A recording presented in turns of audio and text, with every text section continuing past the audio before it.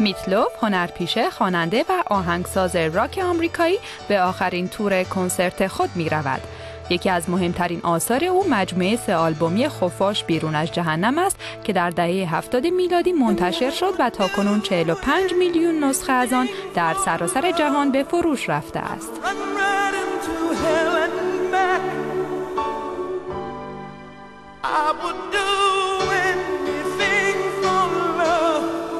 میتلوف در مورد ترک صحنه موسیقی می‌گوید آنچه دلم برایش تنگ می شود اجرا بر روی صحنه است نه عکس العمل حاضران. من شو اجرا نمی کنم که حاضران برایم کف بزنند. من برای آنها می آیم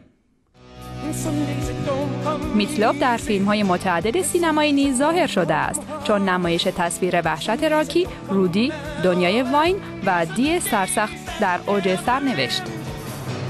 Some that you're breathing fire, and some that you're caught in ice, some that you're like nothing I've ever seen. مردم انتظار کمال دارند و من سرزنششان نمی کنم.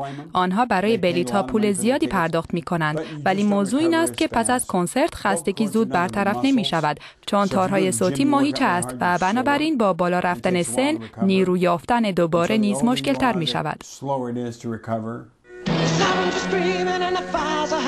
میتلوف در بریتانیا، ایرلند، هلند و آلمان تا پایان ماه مه کنسرت اجرا خواهد کرد.